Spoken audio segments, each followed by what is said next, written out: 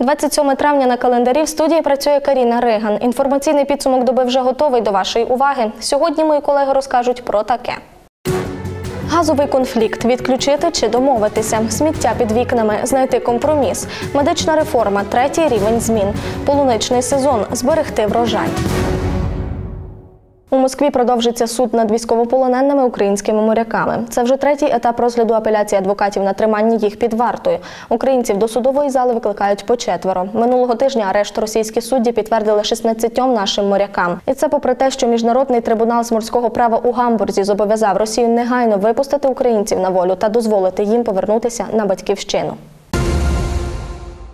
Андрій Єрмак прибуде на Закарпаття, щоб промоніторити ситуацію після удару стихії. Попередня влада Закарпаття доволі швидко визначила, що стихія завдала збитків області на 100 мільйонів гривень, які потрібно на відновлення берегу, укріплень та мостів. Окрім того, доволі швидко влада області встановила, що стихія завдала збитків приватним господарствам на 50 мільйонів гривень. Головним чином це стосується тих, у кого затопило сільськогосподарські угіддя. Як відомо, якщо сума збитків стихією перевищує 60 мільйонів гривень, то це вважається надзвичайною ситуацією регіонального рівня і кошти на компенсацію наслідків стихії виділяють із резервного фонду бюджету країни. Верховна Рада може розглянути питання відставки уряду 30 травня. Про це заявив голова парламенту Андрій Парубій під час засідання погоджувальної ради в понеділок, 27 травня. Відповідно до закону Верховній Раді надається 10 днів на розгляд відставки Кабміну, і ми входимо в ті 10 днів цього пленарного тижня. Тому даю доручення комітету правової політики розглянути в середу на комітеті, щоб ми в четвер могли розглянути це питання про відставку кабінету міністрів і прем'єр-міністра України, сказав Парубій. Також він повідомив, що рада зможе почати розгляд виборчого кодексу наступного пленарного тижня. Спікер парламенту зазначив, що цього пленарного тижня рада не встигне почати розгляд кодексу через відсутність рішення профільного комітету. Нагадаємо, прем'єр-міністр Володимир Гройсман заявив, що вирішив подати заяву про відставку в день інавгурації президента Володимира Зеленського. 23 травня його заяву передали раді. Тіло дитини виявили мешканці селища міського типу Буштино вчора, 26 травня, під мостом річки Теребля. У Закарпатській ОДА розповідають, на вигляд дівчинці 8-10 років. Наразі її особу ще не встановлено. Знайшли дитину у гілках. Експерти вважають, судячи із стану тіла дівчинка загинула ще тиждень тому, а значить, теперішній паводок причиною смерті бути не може. Зараз судмедексперти визначають точну дату смерті та її причину. Дивно, але заяв про зникнення дитини за останній тиждень не надходило, кажуть вода. Оскільки Теребля є притокою тиси, а в паводкові дні місце виявлення дитини фактично перебувало в дельті переповненої тиси, можливо, тіло принесене течією тиси з території Румунії. Вище за течією кордон між Україною і Румунією в адміністративних межах Закарпаття проходить якраз по тисі. Йдеться у повідомленні. Наразі поліція зв'язалася із своїми румунськими колегами із цього приводу. Тіло дівчинки від 8 до 10 років в селищі Буштино знайшов на березі річки Тереблі, місцевий рибалка. Тепер правоохоронці з'ясовують причину смерті та особу дитини.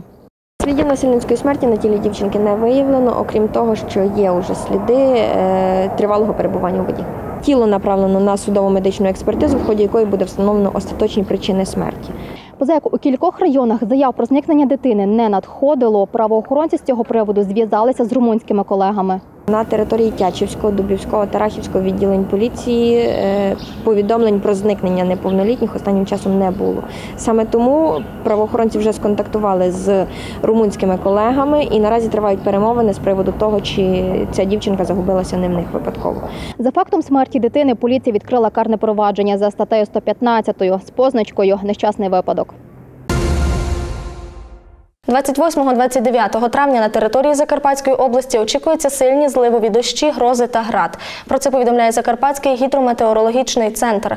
За інформацією синоптиків, 28 травня у другій половині дня очікуються сильні зливи. У західній та центральній частині області зливи, грози. В деяких населених пунктах град. Під час грози прогнозується шквалисте посилення вітру до 17-22 метрів за секунду. Це другий рівень небезпечності. Закарпатська обласна державна адміністрація звертається до Міністерства оборони України з проханням розглянути можливість відстрочки від призову на строкову службу юнаків із підтоплених паводком районів. Як пояснюють вода, таке рішення люди щойно пережили стихійне лихо. Зараз їм потрібно відновлювати пошкоджене господарство. Судячи з попереднього досвіду, компенсація за завдані збитки з резервного фонду держбюджету буде виділятися тільки для об'єктів інфраструктури, соціальної сфери, освіти, медицини тощо.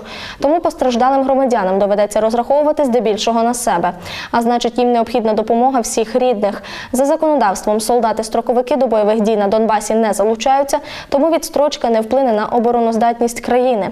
Після ліквідації наслідків паводка призов на строкову службу може бути продовжено. Повідомили у прес-центрі Закарпатської ОДА.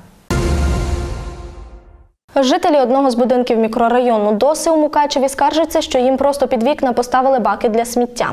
Аби позбутися набридливих комах і жахливого смороду, сусіди трьох багатоповерхівок перетягують один контейнер з місця на місце. В ситуації розбиралися наші кореспонденти. Світлана Миколаївна мешкає у будинку по вулиці Дорошенка 2А вже кілька десятиліть. Каже, що раніше усі контейнери для сміття стояли на спеціально облаштованому майданчику. Там где-то шесть контейнеров было, и все носили туда мусор. Тижні зо два, розказує пані Світлана, сміттєві баки прибрали з їх попереднього місця і розставили під будинками. Такий стан речей мешканців багатоповерхівки зовсім не влаштовує. Во-первых, вечором тут постійно бомжі риються, плюс тут днем діти бігають, мусорка. От. Е, Коли там було теж і криси, я думаю, що будуть тут і криси літом, от, все, що хочете, і мухи. От. Я не можу навіть на провітрювання окно відкрити. Сміття у контейнер, пояснюють місцеві, зносять з трьох багатоповерхівок – Дорошенка 2, Дорошенка 2А і Берегівська 108. Але найбільше страждають від бруду і смороду мешканці будинку Дорошенка 2А. Подібна ситуація і у жителів будинку по вулиці Левітана 2. Сміттєві баки, кажуть, вони поставили просто біля дитмайданчика. Тут дитяча площадка. Тут приходять бомжі, цигани, розкидують мусор і все літає на дитячу площадку. Уже мухи залітають, а ще тут і великі мухи залітають, і я не маю права відкрити вікно собі. Жителі мікрорайону самотужки перетягли контейнер подалі від дитячого майданчика. Але кажуть, працівники АВ повернули його назад. Для чого знадобилося прибирати сміттєві баки зі спеціально облаштованого місця, ніхто не знає. Але такий стан справ людей зовсім не влаштовує. Тому вони звертаються до муніципальної інспекції міста, аби вона вжила необхідних заходів. Тому що е, тягати бак мусорний теж не діло. Вчора близько 21.20 патрульні отримали виклик про те, що група осіб вчиняє хуліганські дії та розпиває спиртні напої на дитячому майданчику вулиці Заньковецької. Прибувши за вказаною адресою, поліцейські помітили даних громадян і попросили припинити правопорушення. Однак на зауваження патрульних вони не реагували. Почали агресивно поводитись, після чого одна з громадянок вдарила патрульного в обличчя. Під час затримання правопорушниці інші три особи намагалися завадити поліцейським та чинили опір. У підсумку усіх громадян було доправлено до Ужгородського відділку поліції. У їх діях вбачають ознаки кримінального правопорушення. За опір працівникам правоохоронних органів передбачено кримінальну відповідальність за статтею 342 Кримінального кодексу України, повідомляють у патрульній поліції Закарпатської області. Учора у пункті пропуску Ужгород прикордонники виявили 28-річного хмельничанина, що перебував у розшуку за скоєння кримінального злочину. Молодий чоловік прямував на в'їзд в Україну рейсовим автобусом. Під час перевірки документів пасажирів з'ясувалося, що чоловіка розшукували за заподіяння тілесних ушкоджень правоохоронцю під час виконання ним службових обов'язків. Правопорушника затримали та повідомили про це Нацполіцію. З пункту пропуску злочинець вибув вже у супроводі співробітників патрульної поліції. Тепер йому доведеться нести відповідальність відповідно до частини 2 статті 345 Кримінального кодексу України. Умисне заподіяння працівникові правоохоронних органів чи його близьким родичам побоїв, легких або середньої тяжкості тілесних ушкоджень у зв'язку із виконанням цим працівником службових обов'язків. Чех намагався вивезти через КПП Ужгород марихуану. Чоловік, керуючи шкода, прибув на пункт пропуску Ужгород учора вранці. Прикордонники вирішили відправити автівку на поглиблений огляд і саме тоді виявили в особистих речах металеву коробку. У прес-службі загону розповідають, у коробці перевозили речовину зеленого кольору у вигляді подрібнених частин рослини. Про цей факт одразу повідомили СБУ та правоохоронців. Коробку та автівку 1999 року випуску було вилучено. Водія у супроводі СБУ забрали для проведення слідчих дій. На Закарпатті у трьох районах прикрили кілька незаконних заправок. У рамках досудового розслідування було проведено ряд обшуків на Ужгородщині, Тячівщині та Виноградівщині. Прокуратура розповідає, невідомі особи відкрили без відповідних дозволів АЗС, де продавали незаконно виготовлені паливно-мастильні матеріали. Під час обшуку було виявлено резервуари, які були приєднані до бензоколонок. Саме з них і продавали паливо. Загалом правоохоронці виявили 9 резервуарів для зберігання палива, 7 колонок із шлангами та пістолетами, бензин в кількості 2 тисяч літрів, а також диспаливо в кількості 4600 літрів. Відкрито провадження за частиною першої статті 204 Кримінального кодексу України, а саме незаконне зберігання з метою збуту та збут незаконно виготовлених підакцизних товарів. Воно передбачає покарання у виді штрафу у розмірі від 85 тисяч гривень до 170 тисяч гривень. У Тячівському Буштині виникла конфліктна ситуація між газовиками та споживачами. Перші стверджували, що другими було самовільно підключено газовий прилад до системи газопостачання. Ті, у свою чергу, заперечували такий факт, адже встановлений прилад може працювати і на альтернативному паливі, тому працював на ньому, а не на газі. ПАД «Закарпатгаз» надіслав споживачу письмове повідомлення, де зобов'язав його виконати певні вимоги. У разі їх невиконання попередив про припинення газопостачання на об'єкті. Наша знімальна група побувала на місці безпосередньо у день, коли мали здійснити відключення. Тож про газовий конфлікт далі більш докладніше. У Буштині одна з пекарень цілком могла призупинити виробництво через відключення газу. Оновлення новітнього обладнання зараз відбувається на підприємстві. Ми звернулися до ПАД «Закарпатгаза» про те, що хочемо отримати технічні умови на встановлення нового цього обладнання, нових е, котлів, які використовують природний газ.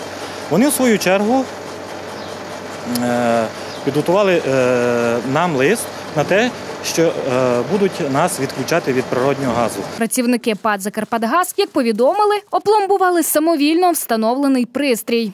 На даному об'єкті було виявлено при перевірці самовільно встановлене газоспоживаюче обладнання.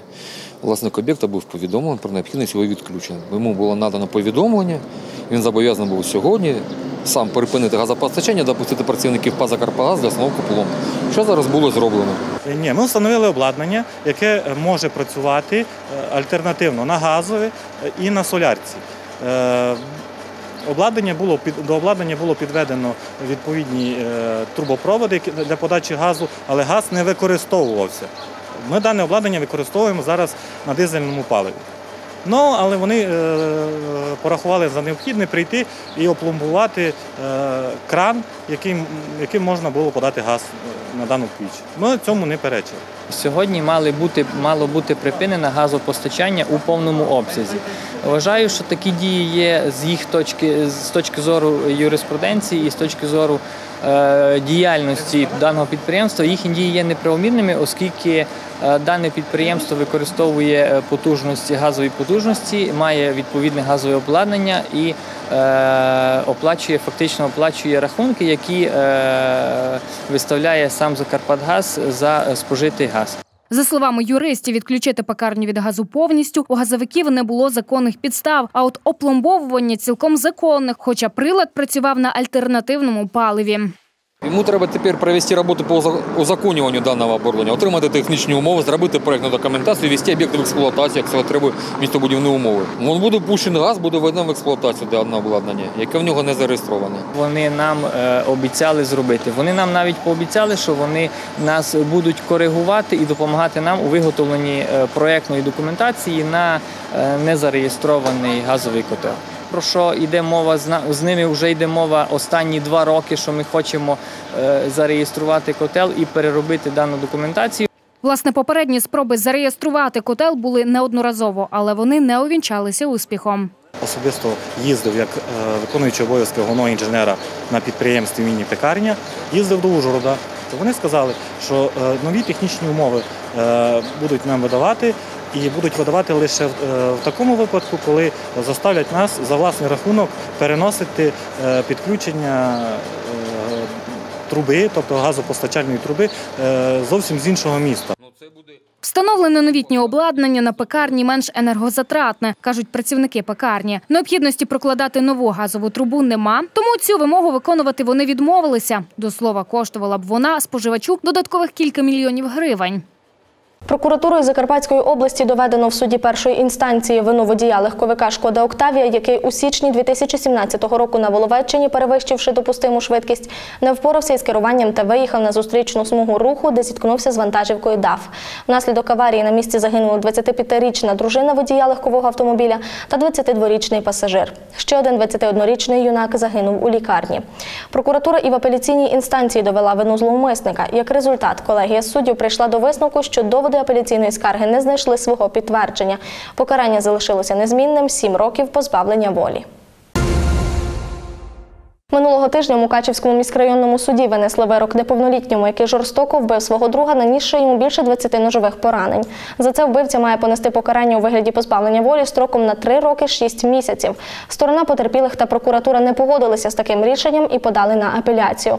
Детальніше розкаже моя колега. Вот смотрите, это был живой. Смотрите. Вот еще, вот еще, смотрите. Раз, какой он был, смотрите. Давайте вот, что он сделал. Вот, смотрите. Три роки і шість місяців для обвинуваченого у вбивстві товариша. Таке рішення ухвалив Мукачівський міськрайонний суд для неповнолітнього з Нижньої Апші. На тілі потерпілого зафіксували більше 20 ножових поранень. Хлопець помер на місці. Неповнолітній нападник у скоєному зізнався. Как можно это? Издеваться, они издеваются над нами. Три года. Убил 27 Ну А Вже в ході судового засідання під час проголошення вироку було проголошено про те, що е, колегія суддів перекваліфікувала обвинувачення на частину першу статті 116 Кримінального кодексу України. Мова йде про умисне вбивство, вчинене у стані сильного душевного хвилювання. Також частково було задоволено позови потерпілих про відшкодування шкоди е, в розмірі е, 1,5 мільйона гривень. При цьому експерт у висновку зазначив, що юнак психологічних відхилень не має.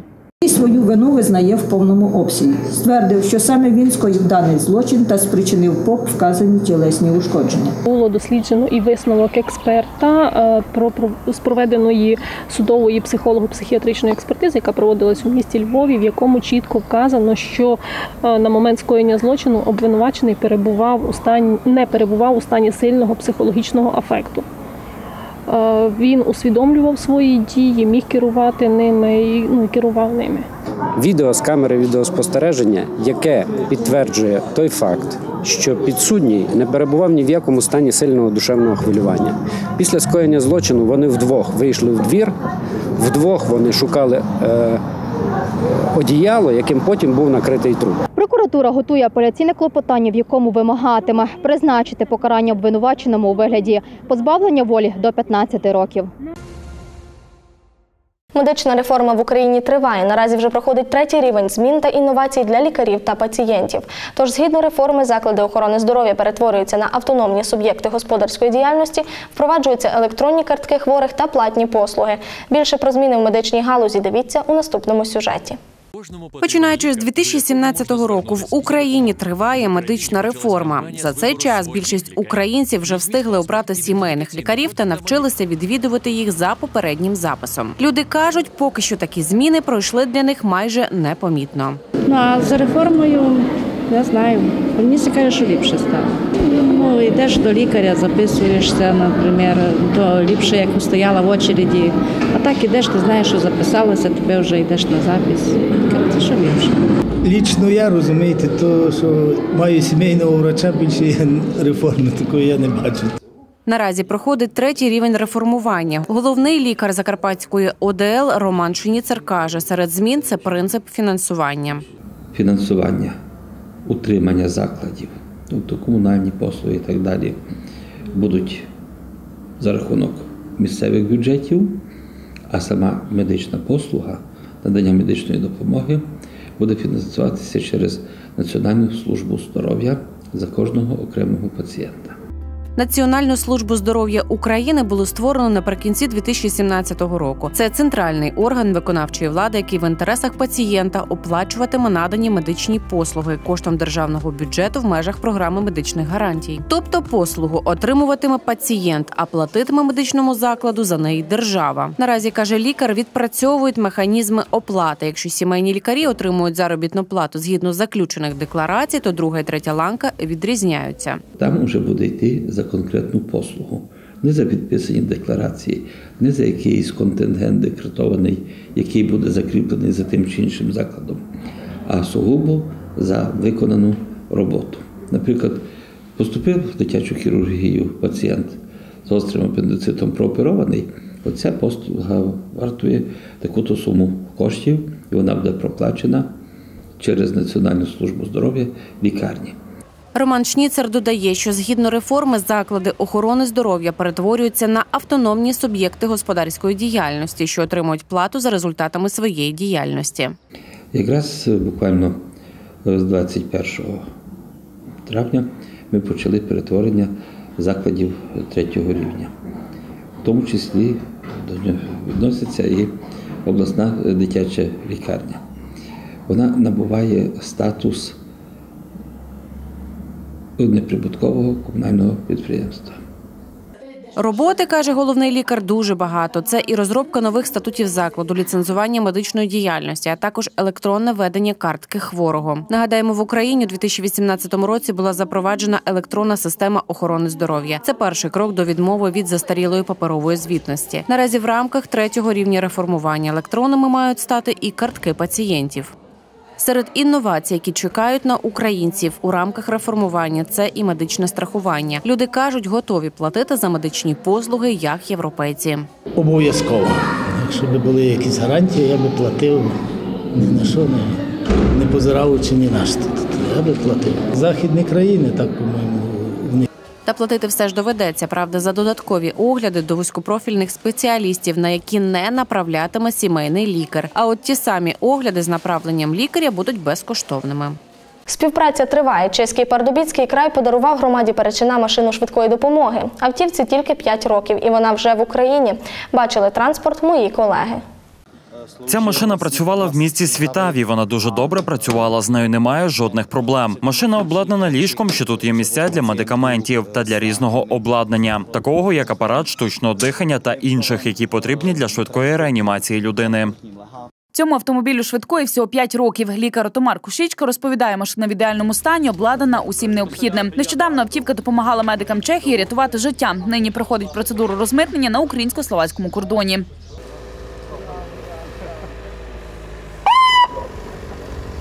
Голова Перечинської ОТГ випробовує двигун на міцність. Таких машин, каже, в Перечині немає. Однак вже днями лікарі первинки їздитимуть до хворих саме цим транспортом. за таке прекрасне авто, яке 100% буде служити дуже багато років. Я думаю, десяток, може більше років е, в Перечинській об'єднаній територіальній громаді. Як бачимо, машина знаходиться в ідеальному стані. е, Підготовлена того, того, чого в нас не вистачає, бо в нас зовсім немає на первинній медицині е, медичного автомобіля. Автівку швидкої подарували громаді Перечина в рамках співпраці з Пердубіцьким краєм, а ще з нагоди дня міста Перечин. Ця машина служила в місті Світаві. Ми кожні п'ять років міняємо свій транспорт, продаємо його через автобазар. Але депутати вирішили цього разу подарувати автівку закарпатцям, саме додати 120-річчя міста Перечин. Важливо те, що наша співпраця це не тільки обмін досвідом, а можливість фінансової допомоги. Це вкотре доводить, що ми історично близькі народи. Співпраця з чеськими партнерами на Закарпатті злагоджена вже більше ніж 10 років. Низку проєктів утілили в життя. Пардубіцький край співпрацює з Закарпаттям вже 6 років. Розповідає Володимир Чубірко. Розказав про плани на майбутнє. В цьому році ми маємо план е, по Пардубіцькому краю. Це заміна вікон в Перечинській школі, це ремонт стріхи в Березовому дитсадку номер 1 це утеплення фасаду в Коротнянах, це ремонт другого поверху Колочавської лікарні і заміна даху у Спалявській школі. Це окремо, це фінанси. У рамках співпраці між містами проходять інші процеси. Це, наприклад, передача цієї санетки. І ми всьому громаді Закарпаття, всім сільським головам і небайдужим людям показуємо, що ця співпраця дає певні результати. Наразі машину швидкої чекає процедура розмитнення. Згодом її передадуть медикам первинної ланки Перечина. Партнери з Чехії кажуть, мають сподівання, що машина допоможе підняти рівень медичного обслуговування району. Допомагати ж обіцяють і надалі. На Закарпатті триває полуничний сезон. Однак цього року фермерам, які вирощують цю ягоду, на великі прибутки розраховувати не доводиться. Спершу через заморозки, а згодом через зливи та підтоплення частину врожаю селяни втратили. Тож наскільки складно доводиться власникам полуничних плантацій зберегти свій врожай, дивіться далі. Вже два тижні на Виноградівщині триває збір полуниці. Цього року природа була не надто прихильна до фермерів, однак вони усіма силами намагаються врятувати свій врожай. Зовсім не солодко доводиться цього року власникам полуничних плантацій, каже пані Світлана. Вона одна з тих, хто займається вирощуванням цієї ягоди. Каже, значно вплинули на цьогорічний врожай полуниці погодні примхи. Спочатку були дуже холода, ми закривали агроволокном е, ягоди, щоб не померзли. Далі, як почали дощі, вже два тижні дощ паде і паде, і паде. У рядках вода стоїть постійно. Збирати дуже важко людям у плащах працюють. Відкачуємо воду постійно, кожен день вечором, бо в рядках стоїть вода. Ну, звичайно, прибутків менше, десь 30% ягід згнило. Ягоду господарі полуничної плантації садили вже за новою технологією. Це й дозволило врятувати її від значного підтоплення, розповідає пані Світлана. І все спеціальні ми е, садимо на такі гряди високі, щоб не підтоплювала вода. Якщо є вода, значить вона держить у середині рядка, а коріння ягід мало захищено. Якщо у минулі роки збирати врожай зазвичай доводилось під палючим сонцем, то зараз нерідко під проливними дощами, адже ягода чекати не буде, не встигнеш зірвати, згниє. Реалізовують ягоди власники плантації переважно на оптових ринках. Ціни за кілограм коливаються щодня. Починаємо ягоди збирати зрана, що доки сонце не світить, щоб до обіду їх можеш реалізувати. Бо найбільше і на оптовий приїжджають е, покупці найбільше. Вибираємо саму червону. Триватиме збір полуниці приблизно ще два тижні. Підраховуватимуть прибутки власники полуничних плантацій вже після завершення сезону. Та однозначно кажуть, цього року вони будуть значно менші. На сьогодні у мене все. Вже завтра мої колеги розкажуть про таке. Стабільна гривня, питання дефолту, негода на Закарпатті, наслідки паводків. Такими подіями запам'яталося 27 травня. Дякую за увагу. Бережіть себе. Побачимось на цьому ж телеканалі.